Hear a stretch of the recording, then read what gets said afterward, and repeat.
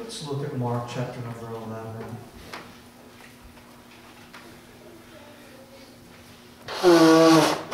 Thank God that we can be in a different place. We don't have to be in the same place every year just because of tradition. But I'm just in a different place this year on this Palm Sunday. I appreciated the way that you this morning responded to the Word of God. I appreciate what God spoke to us. And I want to look at the same passage of what happened, but in a different gospel. And I want to look at what God can speak to us here on this Palm Sunday, because God's already doing that in our midst. I'm not going to be lengthy. I just want to be, I just want to look tonight. I want to bring us back to the same place of this hungering and desiring and thirsting but maybe with a little more focus this evening upon Palm Sunday and what Christ and the Word of God speaks to us.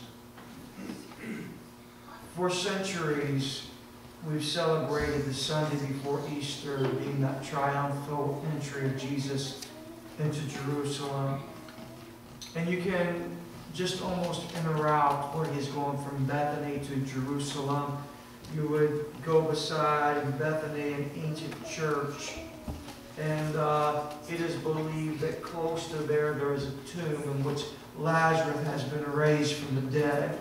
Not many days prior to this, they remember this magnificent miracle that Jesus resurrected a man from the dead, who surely by now he stinketh. And then you would go uh, uh, from, from Bethany, where the tomb of uh, Lazarus was, you would, you would come uh, to where uh, some commemorate Jesus riding upon the back of, of that donkey. Uh, uh, then you go through the Kidron Valley, and then you would lead into the Via Dolorosa, uh, the path in which he took. And so, as we look at that, um, that, that time in which we celebrate Palm Sunday this advent of everything that's happening during what many refer to as a Holy weekend. I'm okay with using that terminology because it is a very sacred time as we look at what Christ has done for us. We don't, we don't segregate it to, to one week a year, but this is something that we remember every day of our lives as believers, what Christ has done for us. And so in Mark chapter number 11, we start off reading. The Bible says, And when they came near to Jerusalem, which I just walked you to, into Beth, Bethphage and Bethany at the Mount of Olives, he sent forth two of his disciples. And we said this morning that tradition says that this is John and this is Peter. The Word of God does not. But tradition would tell us that. And many folks feel strongly upon that and, and said unto them, Go your way uh, uh, uh, into the village over against you, probably Bethphage, and, and soon as you be entered in, you shall find a colt tied whereon never man sat. yet had never ever been ridden before. The Bible says that they, Jesus spoke to him and said, Loose him and bring him unto me. If any man say unto you, Why do you do this? Uh, uh, because it was going to be the case. Jesus already prepared them for what is lying ahead. I think it's a reminder that moments in our life that transpire the ministry of God's Word, the ministry of a service, always prepares us for things that lie ahead. Amen. It doesn't happen by chance or just circumstance, but God orchestrates it. The Bible says, say, uh, uh, uh, say ye that the Lord hath need of him. And I want to stop right here for just a few moments. And I want to think about this before we move on any further because this is where we are in our service. Does God have need of anything? God doesn't need anything. God is God. He doesn't need you or I to do anything to keep this world still in motion. God doesn't need us for His existence and His being. He will always be. He will always be holy. He will always be loved regardless. God does not need us. Amen. But what was happening here is God doesn't need anything. Amen. But God wants certain things surrendered unto Him. Amen. He doesn't need it, but He wants it. God doesn't need us to worship, but He wants us to worship. God doesn't need our obedience, but He wants it. Amen. Uh, God doesn't need our lives. God doesn't need our time. God doesn't need our time, but He certainly wants it. And so the message of Palm Sunday is this, is that God does need. He wants you. Amen. He wants everything about your life. He wants surrender of your time. He wants surrender of all the kingdoms of your heart. Amen. He, he wants everything about you. God desires it. He does not need it, but He wants it. Do you know what God wants that time of day where He communicates with you. God wants that time of day where your praises and anthems to Him. Amen. He, he wants it. Amen. He, he, he does need it. It won't stop His existence, but He speaks out, I you. I need your heart. I need your time. I need your surrender. I need your obedience. Amen. The message of Palm Sunday is we have a God who loves us so much that He died for us. And He wants us. Amen. Who are we that God would want us? Amen. Go and tell them that I want them. I feel like I'm a Peter. I feel like I'm a John. Amen. I feel like I can loose you tonight to say, the Master has need of you. I'm just a messenger. Amen. God has need of you. And the Bible says, and straightway, immediately, he will send him hither. Isn't that interesting that God had already orchestrated, God had already designed that he had need of, of this colt? We read this morning in the text in Matthew that there was a colt and there was a mother. Amen. The colt had never been ridden upon. The mother had been ridden upon. Amen. He wanted both of them. Both of them are what went. Amen. And here he is. And, they saddle this up. Amen. And, and, and, and they bring it to Jesus. It's interesting that this animal had never been ridden on in the Old Testament. You know, there was those sacrificial heifers, that, that, that, that uh, red heifers that had never been used for plowing. It was sacred, uh, really, in its purpose. But donkeys were different. If you were, uh, you know, one thing that I like, uh, um, let me just add a little bit of humor in here tonight. My wife always says, you can get another car if you want. I'm like, I'm not getting rid of my truck. I want this thing, you know. It's, it's important when I want to haul, when I need something, I don't need to pest anybody else. Amen. I have it. It's my truck. I like it. Do you know what it was like in the Old Testament having a donkey? It was like having a truck. It was. Didn't come up with it on my own. Actually, I read it in commentary, and I said, I understand that. I can relate to that. It's more than just having a car. It was like having a truck. Amen. It was it, it, it, it, was a it was a status. It was it was a, a, workhorse. And Brother David, it was like the, the Old Testament Toyota Tacoma. Amen. So here it is that that that that in this case never been written, written upon. It was set aside for sacred use. God wants folks to be obedient and set aside and surrender for sacred use. Amen. God wants your obedience. Amen. God, God's desirous. Amen. That He has need of us. That we set aside ourselves to be sacred. And we set aside ourselves to be obedient for His use.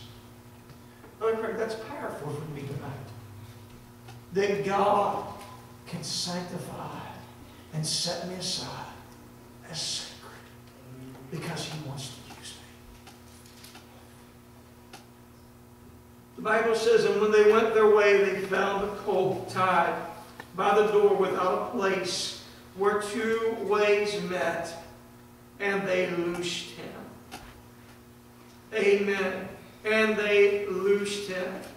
The Bible says that they found the colt by the door where it was tied, where two ways met, and they loosed him. There are two ways. Amen. There is our way, and there is God's way. Amen. There comes a point in our life where the Master gives a call and says, I need you. The forks in the road is this. Will you do your own way and your own thing? Amen. Or you surrender to the call of God that I want you for a sacred purpose and a sacred use? Every one of us in here, we have the ability, amen, to be set aside as sacred. And there's a fork in the road, amen, whether we'll choose to spend our days and our time and our talent, our surrender and our obedience to the desires of our own heart, or we'll say, God, I'm going to immediately be loose and I'm going to follow you wherever you want me to go. You ride on me, Jesus. Amen. You be the one who is seen. Amen. You be the King of Kings and you be the Lord of Lords. I surrender it all to you. Amen. So in the situations of our lives, we stand at the forks in the road, Brother David. Will we set aside for holy and sanctified? Or will we do it our own way? And certain of them stood there, said unto them, What are you doing, loosing the colt? Jesus already told them they're going to be questioned. Jesus already gave the information. And tonight, God has all the information. God knows our needs. God knows our questions. But God has already made a way that says, if you'll surrender to me and follow I need you. You may say, look, in my brokenness, in my struggles, in my own anxieties and in my own worries, God's already answered the question. God wants you. I believe Palm Sunday is about knowing that the Master has need of us. And God's already prearranged and pre-orchestrated that He has a plan for our life without any questions. And the Bible says and when they said unto them, even as Jesus had commanded, they let them go. Amen. There is a privilege when we lend our obedience to the voice of God. Amen. But David, there was no questioning, there was no fighting. Brother Justin, there was no argument. There was just simple surrender because God had already spoken it and had already had prearranged it. Amen. Do you believe that that is your life tonight? That God has already spoken it, God has already prearranged it, that He has need of you. Amen. So the only thing is, is to let go be obedient to the voice and the plan of God. The Bible says, and they brought the colt to Jesus and they cast their garments upon it, and he sat down. This is the beginning of the triumphal entry. Amen. It is, it is made mention there in, in Zechariah. Let me turn there.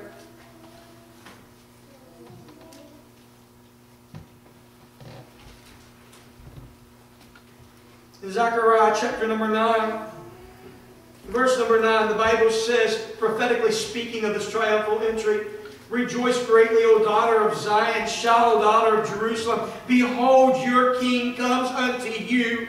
He is just and having salvation, lowly and riding upon an ass and upon the colt of the foal of an ass. Amen. Here it was already prophetically given that they should be anticipating that this is the King of Kings and this is the Lord of Lords. Amen. And immediately, yes, they accepted and they gave him that, that as I preached this morning, they gave him that false coronation to a true king as he came in.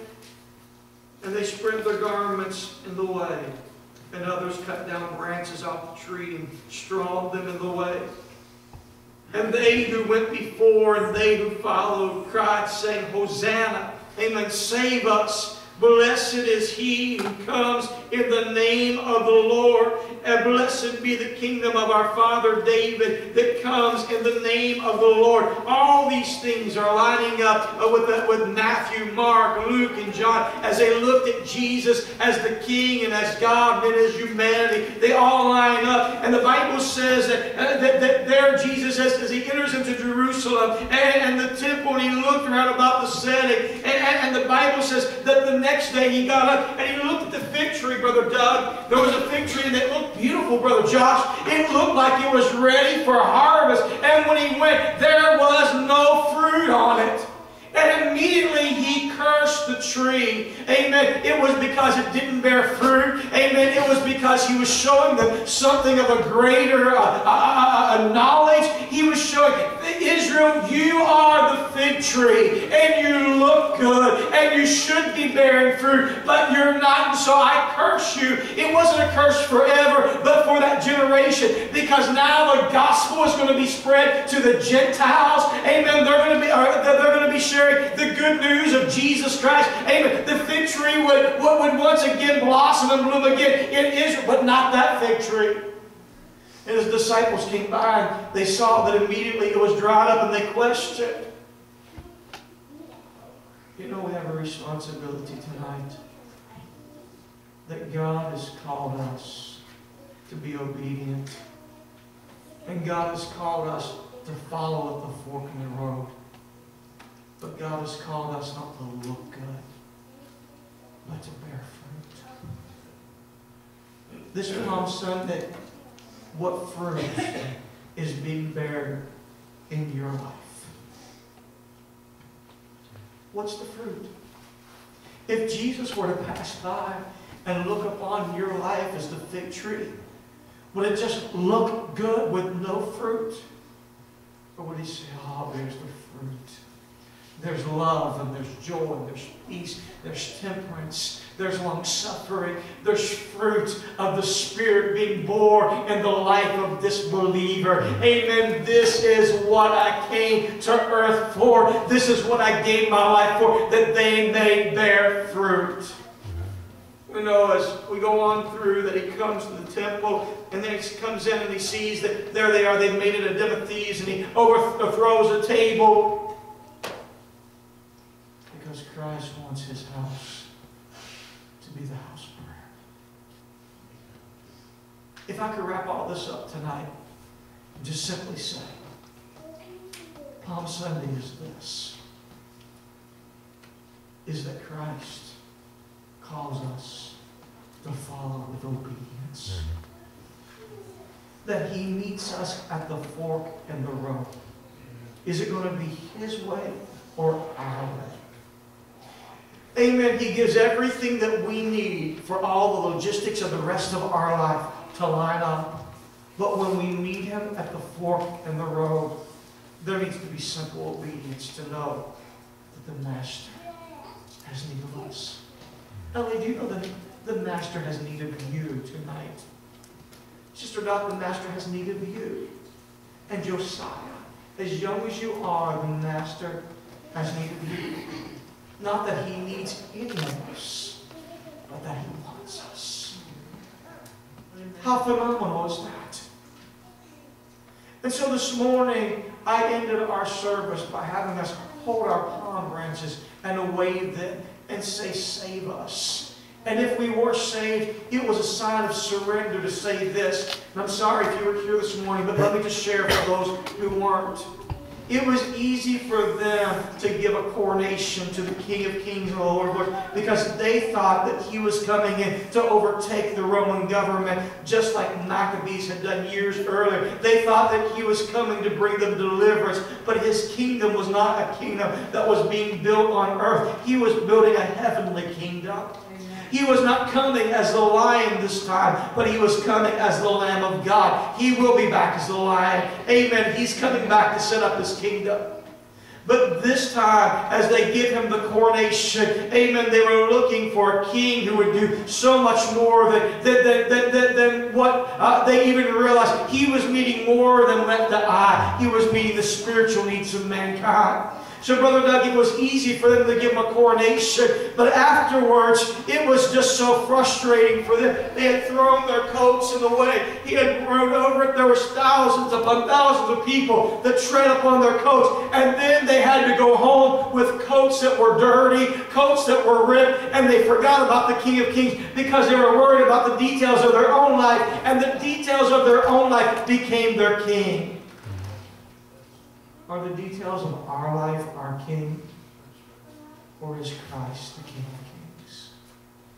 Lord, I am thirsty. I am hungry.